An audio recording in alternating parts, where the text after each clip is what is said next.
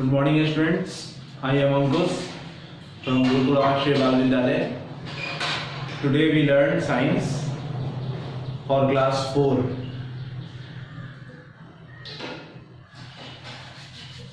आज हम सभी क्लास फोर के बच्चों के लिए साइंस यानी विज्ञान की शुरुआत कर रहे हैं। Our first topic is how our body works हमारा शरीर कैसे काम करता है, इसी के साथ हम आज साइंस की शुरुआत करेंगे क्लास फोर्थ के स्टूडेंट्स के लिए, ठीक है? क्लास फोर ही नहीं, वैसे बच्चे जो कि अपने बॉडी के वर्क के बारे में जानना चाहते हो, चाहे वो क्लास फोर के हों तो उनको तो ये बहुत ज़्यादा ज़रूरी है। लेकिन क्लास फोर से नीचे या क्लास फोर से ऊपर के भी बच्चे इसको आसानी से पढ़कर समझ सकते हैं अपने बॉडी के बारे में। ठीक है? तो हम लोग आज सीखेंगे कि हमारा बॉडी कैसे काम करता है। ठीक है? चलिए बच्चों तो हम पहले हमारा बॉडी कैसे काम करता है, यह जानने से पहले हमको जानना है कि हमारे बॉडी के बारे में हम जिस नॉलेज को लेने जा रहे हैं, वह कहाँ से आया है। सबसे पहले मैं आपको बता दूँ, विज्ञान के विज्ञान के बारे में हमको जानकारी होनी चाहिए, विज्ञान के बारे में हमको जानना चाहिए। सबसे पहले हमको जानना है व्हाट इज़ साइंस विज्ञान किसे कहते हैं? देखिए, विज्ञान के बारे में मैं आपको स्टार्ट में बता दूँ the science is an intellectual and practical activity comprising the systematic study of structure and behavior of the physical and natural world through observation and experiment. कहता है कि विज्ञान जो है सो इंटेलेक्चुअल और प्रैक्टिकल एक्टिविटी से हमें सिस्टमेटिक सिस्टमेटिक ज्ञान देता है। यानी यथार्थ रूप से हमको किसी भी चीज़ पर एक्सपेरिमेंट करके उसके बारे में हमको ज्ञान देने का काम विज्ञान करता है। ठीक है? आपका जो गुरुकुल आवासीय बाल विद्यालय है वो जो बुक्स आप लोगों को प्रिपेयर किया है, वो आपको यहाँ डिस्प्ले हो रहा है। आप यहाँ देख सकते हैं कि गुरुकुल आवासीय बाल विद्यालय में कौन सा बुक्स आपको लेना है और उस बुक को आप विद्यालय से आकर प्राप्त कर सकते हैं। इस बुक आपको मिल जाएगा। ठीक है? अब बात रह गई गुरुकुल से बाहर के बच्चे जो ये वीडियो देख रहे हैं। उनके भी कंटेंट में यह ज़रूर ही दिया गया होगा कि हमारा बॉडी कैसे काम करता है। तो यहाँ मैं थोड़ी देर के लिए कंटेंट भी डिस्प्ले करा दे रहा हूँ कि आपके भी पुस्तक से यदि आप सीबीएसई बोर्ड के स्टूडेंट हैं तो आपके पुस्तक में भी ये ज़रूर डिस्प्ले कराया गया होगा। ठीक है? चलिए तो फिर हम आप आगे बढ़ते हैं साइंस के बारे में। How many branches of science science के कितने ब्रांच हैं? There are three branches of science science के तीन ब्रांच है.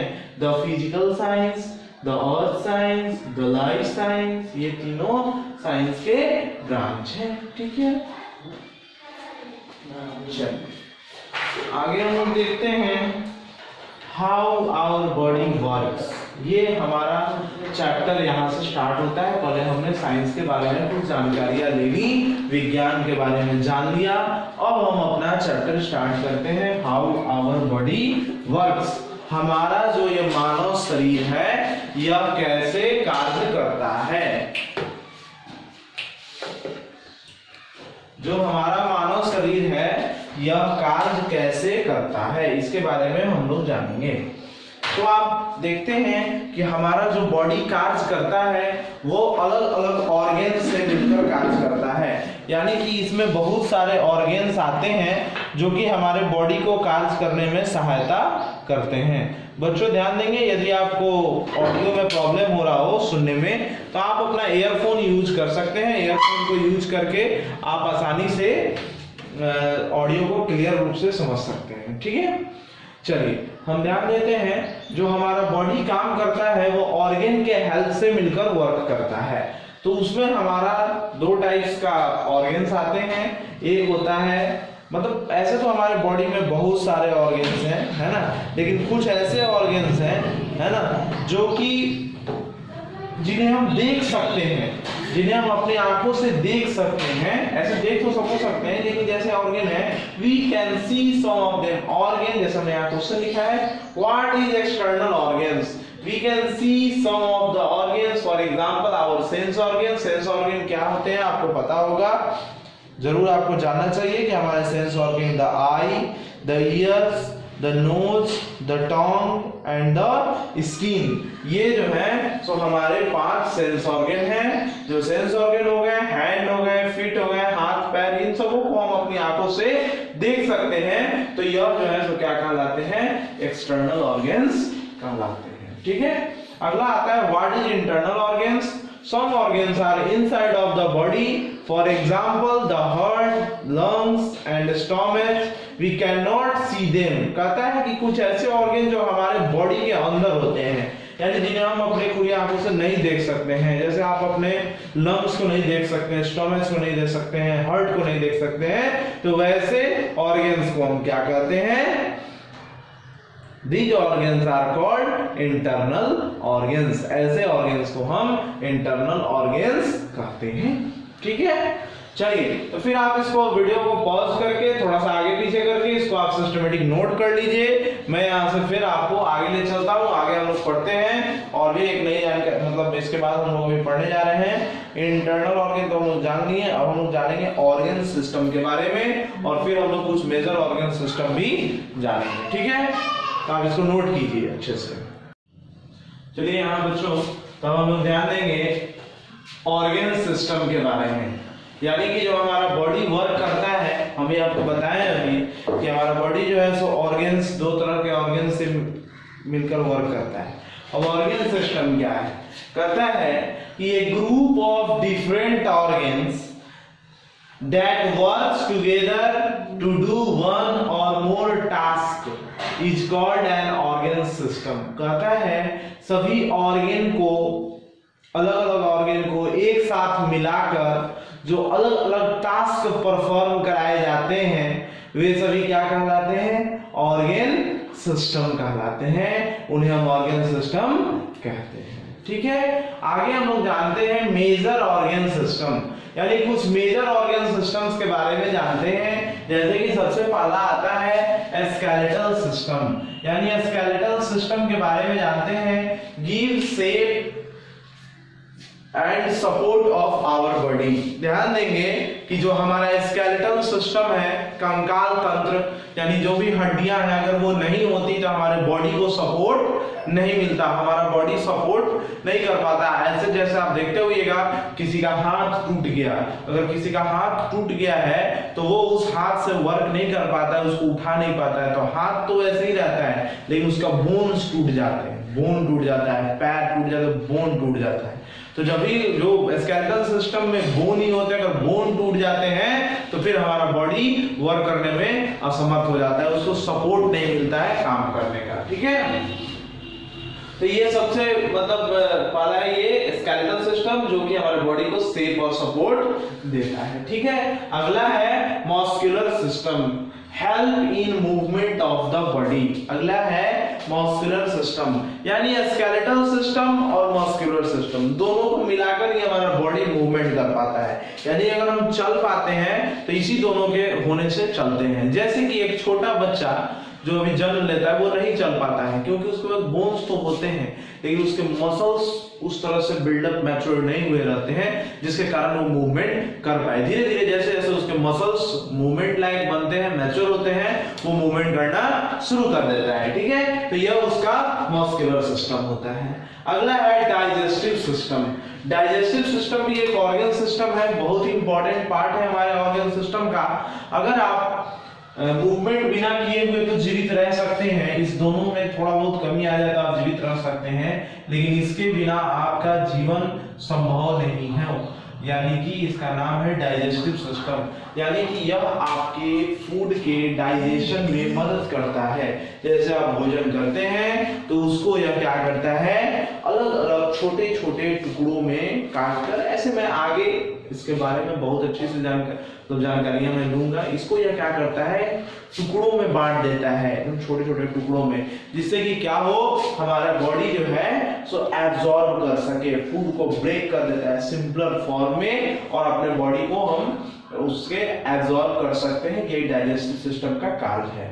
अब डाइजेस्टिव सिस्टम में कौन कौन से ऑर्गन्स आते हैं, किनका क्या वर्क है, ये सब हम लोग जस्ट आगे पढ़ने वाले हैं, ठीक है? इसमें कौन कौन से आते हैं? यहाँ मुँह से लेकर और जब खाना, भोजन हमारा पच जाता है, तब तक ये हम लोग ब्रीफ जानकारियाँ लेंगे, ठीक है? चलिए, अगला आता है रेस्पायरेटरी सिस्टम रेस्पायरेटरी सिस्टम भी कुछ इसी तरह का सिस्टम है कि इसके बिना भी आपका जीवन संभव नहीं है। रेस्पायरेटरी मतलब क्या होता है? रेस्पायरेशन मतलब क्या होता है? यह जानना आपका पहले ज़रूरी है, फिर आप समझ पाएँगे रेस्पायरेटरी सिस्टम के बारे में। रेस्पायरेशन का अर्थ होता है श्वसन, सांस लेना। तो जो भी ऑर्गेन्स हमारे सांस लेने में सहायक होते हैं सभी ऑर्गेन्स का समूह रेस्पायरेटरी सिस्टम कहलाता है। ठीक है? सबको आप ध्यान से थोड़ा सा समझते चलेगा मैंने यहाँ मेमोराइज कर दिया है। पूरे आपका जो बॉडी का वर्क है, उसको मैंने एक ग्राफ में लिखने का प्रयास किया है। ठीक है? चलिए, अगला आता है सर्कुलेटरी सिस्टम सर्कुलेटरी सिस्टम क्या करता है? सर्कुलेटरी सिस्टम का भी वर्क बहुत ही इंपॉर्टेंट है। यह हमारे बॉडी में ब्लड को भेजने का काम करता है। यानी कि खून को एक जगह से दूसरे जगह यह भेजने का कार्य करता है। तो ये सर्कुलेटरी सिस्टम है। यह मतलब हम लोग इसके बारे में भी पढ़ेंगे, लेकिन यह आपको अभी इस क्लास में नहीं पढ़ना है। आगे हम लोग आगे की क्लास में पढ़ेंगे। ठीक है? चलिए, आगे होता है एक्सक्रेटरी सिस्टम यानी कि remove waste product from the body यह क्या करता है? यह जो ऑर्गन सिस्टम है, यह हमारे बॉडी के वेस्ट वेस्ट क्या होते हैं? वेस्ट ऐसा कुछ नहीं होता है जो आप गंदा खा लेते हैं, ऐसा कुछ नहीं है। वेस्ट का मतलब हुआ कि जैसे हम जो भोजन करते हैं, कुछ भी हम भोजन किए, चावल, दाल, सब्ज़ी, रोटी जो भी कुछ भी हम खाएँ। तो जब भी हम भोजन कर लिए तो वो सारा भोजन जो हम किए हैं उसका पूरा पूरी हंड्रेड परसेंट हमारा बॉडी प्रयोग नहीं करता है।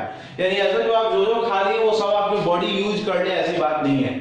उन सब में से बॉडी अपने यूज़ की जो भी आ, आपको जो भी उसके यूज़ का प्रोटीन हुआ कार्बोहाइड्रेट हुआ, जो भी उसके यूज़ का उसमें मिला, उसको वो फ़िल्टर कर लेता है, अलग कर लेता है। और उसमें हम कुछ ऐसा भी चीज़ खा लेते हैं जो हमारे टेस्ट में तो अच्छा ज़रूर लगता है, लेकिन वो उसका हमारे बॉडी को कोई भी काम नहीं है। तो उसको वो क्या करता है? फ़िल्टर करके छोड़ देता है। तो जो भी वो वेस्ट को छोड़ दिया, वो उसका मतलब जो भी पार्ट को फ़िल्टर करके छोड़ दिया जो बॉडी के काम का नहीं है, वो हमारे बॉडी पार्ट से रिमूव हो जाता है, बाहर हो जाता है। ठीक है?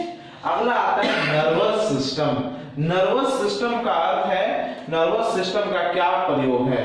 नर्वस सिस्टम का जो उपयोग है वो यह है controls all the activity of the body nervous system बहुत इंपॉर्टेंट होता है, इसमें हमारा ब्रेन से लेकर और हमारा ये पूरा जो डी वगैरह जो भी है यानी कि ब्रेन नर्वस सिस्टम का मेन पार्ट है और आपको पता ही है कि ब्रेन जो है तो पूरे बॉडी को कंट्रोल करता है। तो इसलिए नर्वस सिस्टम हमारे बॉडी को कंट्रोल करता है। जैसे कि मान लीजिए कि कैसे कंट्रोल करता है तो यह हमारे बॉडी को मैसेज सेंड करने का कार्य करता है। जैसे मान लीजिए हम यहाँ खड़े हैं, और थोड़ी देर तक खड़े रहने के बाद हमको यहाँ एक मच्छर ने काटा।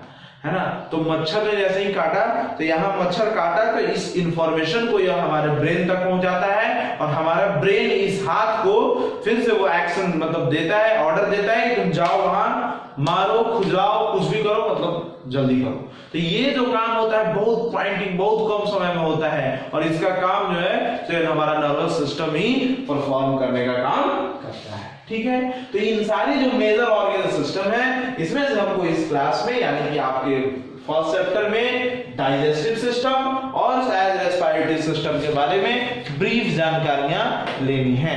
तो रेस्पिरेटरी सिस्टम और डाइजेस्टिव सिस्टम के बारे में हम लोग ब्रीफ जानकारी लेंगे। नेक्स्ट क्लास में। दोनों के बारे में हम लोग ब्रीफ जानकारी लेंगे कि हम लोग इसको कैसे इसका प्रयोग करते हैं। आज के लिए हम लोग का क्लास यहीं पर खत्म होता है। आज मैंने सिर्फ़ आपको इंट्रोडक्शन बताया अपने बॉडी के बारे में और नेक्स्ट क्लास में मैं लेकर आऊँगा ब्रीफ जानकारी, थोड़ा ज़्यादा समय लेकर आएँगे आप लोग, है ना? और आप लोग अपना नोट्स खरीद लीजिए नोट्स बनाना स्टार्ट कीजिए, क्योंकि आपके क्लासेस रेगुलर चलेंगे गुरुकुल आवासीय बाल विद्यालय की तरफ़ से। तो नोट्स खरीद ले, और यदि पुस्तक आप लोग नहीं खरीदे हैं तो बुक्स ज़रूर ले लें, क्योंकि बुक्स आप ही को पढ़ना है, हम सिर्फ़ उसमें आपका मदद करेंगे पढ़ने में, ठीक है?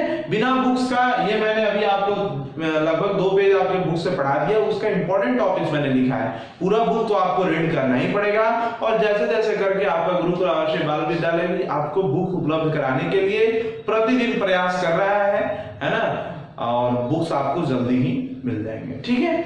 तो आप लोग आकर स्कूल से संपर्क करके बुक्स ले लीजिए और उसके बाद इसका नोट्स बनाकर खूब पढ़िए। और नोट्स बनाना स्टार्ट कर दीजिए। अगले क्लास में हम लोग चैप्टर को ग्राइंड करेंगे, खत्म करेंगे। ठीक है? तो बच्चों, खूब अच्छे से पढ़ाई कीजिए, घर में रुकिए, घर में रहिए, पढ़िए, खूब पढ़िए। अपने माता पिता का नाम रोशन कीजिए, गुरु का नाम रोशन कीजिए। ठीक है? और अपने उन दोस्तों तक भी पहुंचाइए जो कि लॉकडाउन में फंसे हुए हैं और अपने गुरु से दूर हैं, अपने स्कूल से दूर हैं, पढ़ने नहीं जा पा रहे हैं। उन तक ये वीडियो को आप ज़रूर पहुंचाइए। ठीक है? मेरे साथ बोलिए, घर पे रुकेगा इंडिया, पढ़ेगा India.